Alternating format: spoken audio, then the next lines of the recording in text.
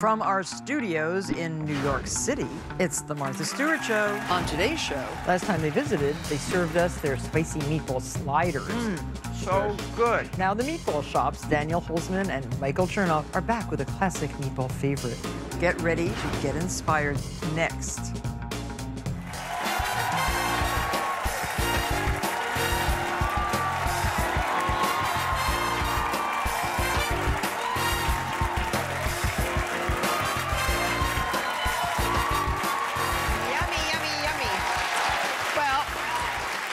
It's a beautiful fall day here in New York. Who would have ever guessed that we had snow just a week ago?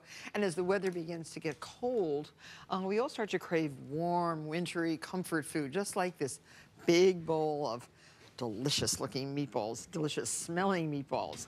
Wouldn't you like to make this tonight for dinner?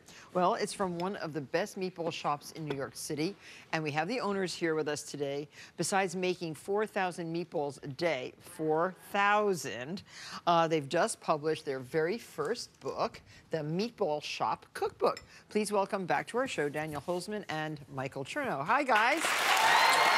Congratulations. You're looking Good, Yeah, you're looking good. Thank you. Thanks for having us. So it's a cute book. My gosh, and all they your did recipes. an incredible job. Yeah. Gave and- it all away. Oh my gosh, and oh, you did not. they did not give it all away. I mean, that's what Ninety-nine point nine percent of it. that's what food books are supposed to Sure. do. Because guess what? If you're really good chefs, you're going to keep coming up with more recipes that you're going to uh, give to us via via the pages of beautiful books like this. So mini buffalo chicken balls, Jama- oh jambalaya balls, uh, bolognese balls. There's lots Classic of meatballs in there. beef meatballs. That's what we're making today, right? Mm-hmm. Your classic meatball. We sure are. Oh, this is so nice. And the book is, is really, it's very nice. I love the cover. It's very retro. Oh, thank you. very Lots nice. of thought put into yeah. the book. It No really cover to get encompasses the shop. You know, what we really wanted to do was we not only wanted to provide great meatball recipes, great side recipes, but we wanted people to really get a feeling of what we're doing. In So the what makes shop. your recipe special, do you think? Dan? What do you what do you think makes do you your think? recipe the most special? I feel like our recipes, it, well, in the book, I think they're really special because they're very simple. So, you know, you don't have to slave for three hours like Grandma used to to make meatballs. But you know, when you have a Yeah. restaurant, I mean, you have 3 How many restaurants now? Two going on we have three? two, and we're opening up a third Oh, I very know, I'm so excited. West Village. Yeah, that's where my uh, granddaughter lives and my daughter. Mm. And uh, we're gonna, where are you gonna be? Uh, Greenwich and Perry. Oh my gosh, it's right there, Yeah, it's right, there. around the corner. It's a great, great location for the shop. It's on a main thoroughfare in the West Village. We're really excited to. Now I have one question because um, do, does the size matter in Does meatballs? size matter? Wow. 100%. Well, I'm sure that uh, there's a couple of different ways you can answer that question, but uh, you know, meatballs. You know, uh, Your meatballs are all on the small size. Interestingly enough, we started out with great big balls. And we had a number of complaints. You complaints had to, to succeed in the meatball business. If you want to deli- differentiate Yes, yourself, the first thing you think is, let me make the biggest meatballs out biggest there." or littlest? Or the smallest. Yeah. And you don't want, you know, let's face it, no one wants to be the guy with the smallest tiny meatballs. balls are not uh, popular. So we um, We're getting off on the wrong track here. oh God. oh. we've we've ended up with this golf ball size, which is which is really perfect for cooking time. Golf ball. Okay, so that's oh okay, that's the Two proto- ounces. prototype is a golf ball. Golf Sure. ball. Okay. That's, visual that's fair. golf ball. And uh, they cook evenly. They cook, Cook evenly. and you want to make them all the same size so they cook at the same rate. And they're moist Okay. inside. Dan has a great way of doing that with these ice cream Can cream I eat that meat raw? You can, but it would be so much better if we just mixed in some of these ingredients. Okay. And made delicious meatballs. I always taste meat before I use it. I, I do that as well. Do My father, that was my father's Oh thing. yeah, He'd always I give mean, me some. I, I mean, and there is meat and there is meat, so it matters where you get your meat, right? If you happen to be at the Martha Stewart show, this. you have this the latter. I always the put a little salt Uh-oh. on it. See? My um, that. The local butcher. serious. That is serious business. Should I do that as well? You, well, you could should tell me consider if you that. think that's great meat. I'm gonna. I'm I'm gonna. gonna try a little salt on that one too. It's so good. Is it delicious? I It's think it's good pretty meat. damn good meat. It is good meat. I would be Yeah. really embarrassed if, if you didn't meat. have the best meat around because you know. You're the boss. Oh, you didn't bring the meat? Let's get We- into the we- sauce. They didn't bring We the didn't meat. bring oh, the I thought you brought the meat. That's why I was tasting it. I know No, we, have we don't ever meat. start with ground meat. We make all of our meatballs, you know, from whole whole muscles that we grind at Oh, the restaurants. oh, okay. Like what part of the meat? We use the shoulder clod from the from the Okay. cow, and you know, it's really easy and it's a great thing to do at home. But you know, if you want to skip that step, it's just as good to Okay. use ground. So what should we start? The sauce or the meat? We should start. Let's I start guess, with the sauce because this oil looks like it's getting a little Ooh, hot it here. is. Oh my gosh. Turn that- So basically, what, you, what we're doing here is what we've got. Uh, we've got about a quarter cup of sauce on medium heat. You want to drop those start? onions in, full whole onion, white onion, um, full whole onion chopped. full whole onion chopped. Um, bay leaf you can just toss in there. I mean, we have people who hear full whole onion. They're not watching the TV, and they'll put a full whole Oh, onion. right. Full whole chopped onion. Chopped onion, must please. say Chop- chopped. Do not drop the whole onion in there. You might have a problem uh, making Okay. sauce. Uh, tablespoon of fresh oregano. Two garlic cloves, also minced. Get it all You in can use two hands, yeah. And then you just want to do two tablespoons of salt. Oh, two tablespoons. Two teaspoons of salt, Oh, rather. two excuse teaspoons. Um, you know the, the. Did you hear that? Two teaspoons. Two teaspoons of salt. Okay. Um, this is the foundation of the sauce. This is where the magic happens. This is where you really do not want to rush.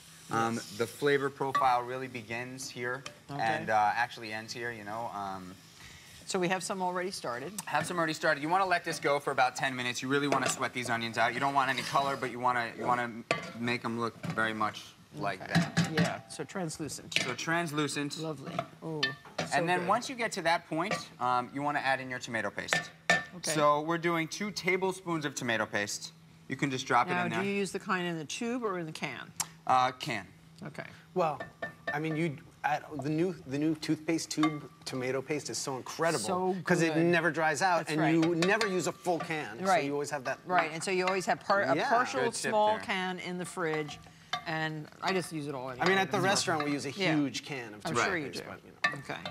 Um, so you want to you want to cook That that, for about good. five minutes. You definitely want to let it go. You don't want to serve. Uh, you don't want to make your sauce with a raw tomato paste. So let it cook Okay. till it's about brick red, um, and that should take about five minutes. While we're doing this, why don't we head back over and see what these meatballs look Okay, like? Okay, good. All right. All right. So here's the meat. we've got the meat, That I which you tasted tasted. it, and you believe it's delicious. Can I make it? Can I put all Let's this do stuff it. in? Everything goes Two right in. We've teaspoons got, of salt. Uh, for every pound of meat, one teaspoon of salt, so two, two Oh, teaspoons. okay, that's a good rule. Um, a good rule of thumb. Uh, Fennel. Fennel seed, which Ah. is really, you know, Finely- finely ground. Finely ground. Um, red pepper flakes. a quarter and we, of a teaspoon. A quarter of a teaspoon. Um, or fresh oregano. One tablespoon, uh, more oregano. Oh, so it's in the sauce as well as, as in well. the meat. And then uh, flat leaf parsley, Italian flat leaf parsley. Quarter that's of a been cup. chopped. Yes. Um, and then I like to put uh, fresh ricotta cheese, which adds a certain See, lightness that to meatballs. is a secret. Little This ricotta. is the ingredient in our beef meatballs that yes, gives them that a is a certain lightness. And then Two eggs two eggs. Oh, and a half a cup of breadcrumbs. And basically, no matter what the flavor profile you're going for, if you stick to these kind of uh, measurements of Yum. the salt, the breadcrumbs, the eggs, and the meat, you're going to come out with a really well-made meatball. So I'm stir We're just going to stir these up. Uh, Now, do you do this in a mixer or do you? We make them in a mixer. We make a really big batch, and actually one of Well, you're making 4,000 Meatballs meatballs, a a day. Yeah, it's a Did you ever? meatballs. How many pounds of meat is that? Uh, I've never done the math. It's somewhere in the 600 pound vicinity, though. A day? Uh, a day. So you know we're My going through a ton of meat. How Well, many- we actually how did this many all at my apartment at home to start, actually. How many meatballs to a pound? One, every every every meatball is two ounces, but it's not exactly because there So there's are eight to a pound, basically, There right? are eight meatballs in every pound. Yeah. And then if you uh, multiply 4,000 divided by eight, you get Eight. Well, five. You've got 50. 50. So you're Yeah. around 500 pounds of meat. Yeah. So perfect. Um, and then once that's thoroughly incorporated, we roll the meatballs. And this is kind of the f- most fun piece of the puzzle Is that for me. right? Uh, that is, you know, Dan the rolling of meatball the balls.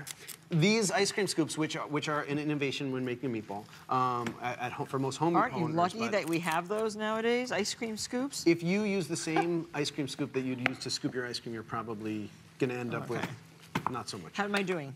You have done ab- absolutely well. It should really be mixed, right? It should be thoroughly incorporated. Yeah. You don't want to overmix it, but you definitely want. And in a mixer, it's you know it's a jiffy. Yeah. And then you know what I always do at home, and I always suggest is that you take a little patty and you cook it off just to make sure that I the would- seasoning is right. Okay, see, I wouldn't even cook it if it's You would taste just it right beef, like that. Yeah. The eggs are fine too. Just pop right in there. Mm. You are, Are you so going to taste that? Wow, Martha, you are really swinging for the bleachers today. That's awesome. I usually cook if I it's love if, that. if it's pork, I taste it, but you know, even pork now, it doesn't. It's you not- know, it's not going to give you trichinosis Nope, if you. no. I'm just gonna really quickly throw these tomatoes in here, just because this is getting brick Mm. It's red getting- before getting my ready? eyes. Um, so That you tastes know, good. in the cookbook, we use Pomì tomatoes. Really, really, really delicious, and also top See, I quality. wish. Yeah, I, I think Pomì are so good. Using the It's Romano. really great. Yeah, uh, you know, at the restaurant, we use a San Marzano style canned Mm-hmm. tomato. Um, but uh, at home, you know, Dan and I choose to use the Pomì because we just love it. It's awesome.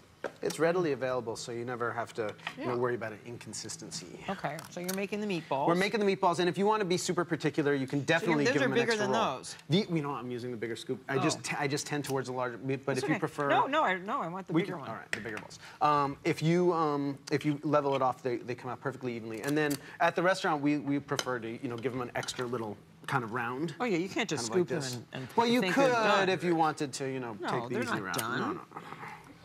Uh, those are those are meat. Those aren't meatballs. Those are meat. Uh, meat scoops. Meat I want to get in there. Can I? Can I roll one of these guys? you should Is definitely roll a? Yeah, few on, meat meatballs. Yeah, I'll throw them your way. So, so when did you start making meatballs and, and make a business out of meatballs? We I've been making meatballs my whole life because so I, are meatballs I'm a also passionate sl- cook. can they be sliders? I mean, These meatballs at the restaurant we have, you know, we have meatballs every way you can imagine. So we have sandwiches and we have meatballs by themselves and we have meatball sliders are a great way to kind of taste lots I of can different come balls. and soon different- because you're. When are you opening? Um, we are opening Village? in the Greenwich Village this week, so you, you will be Oh. able to find us next week. Oh, good. Are you? Hopefully are this you, week, if all goes well. Are you going to be open on Sunday? We will be opened, hopefully, uh, hopefully on Sunday for um, for, for a select few. If we're For if make lunch? it. Yeah, I'm hoping. We're hoping to get open as soon as possible. so You it's know, not opening up a restaurant in New York is always uh, trial by fire. Okay. So uh, See, these are nice. These the are beautiful meatballs, and the next step, which is really Do easy, you is use water just, on your hands or not? You know, that's a great trick, but it's unnecessary. Unnecessary. Especially with the ricotta cheese, which kind of lubricates Right. a little bit. Um, and then we just pop them And right what in the oven. percent fat in the meat?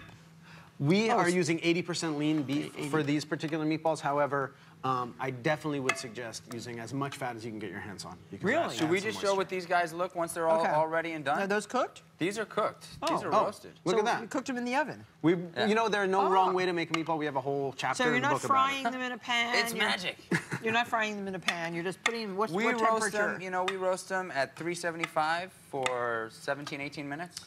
oh, it says 450. 400. excuse me, 450 for 17 minutes. Sorry.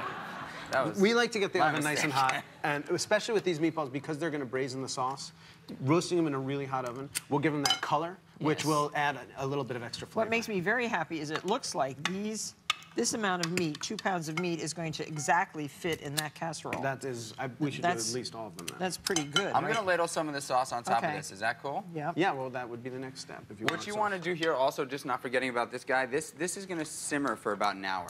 Yeah. this tomato sauce. So once you pour in those can, the, the can or Pomì tomatoes, you let it simmer for about an hour. Okay. And then it should look something like that after about an hour. Yes. And it does. It really does. And it Well, looks we're going to let the meatball. Now, you put that back in the oven or on top of the stove? Right Um, back in the oven for, uh, uh, Look, for an extra 15 look at 20 this. minutes. It exactly you did a really, really good job. Wow. that. That was awesome. So and if you had made the smaller balls, they would also fit, but Yeah. they would be smaller. Yes. I get it. So that's And these actually look smaller. They, they are. That's, did they tell you how many ounces are This is here? a two ounce scoop. I can just tell them this oh. is about a one and a quarter okay. ounce scoop. Excellent. Okay, so we're gonna get those into the oven and we'll be right back.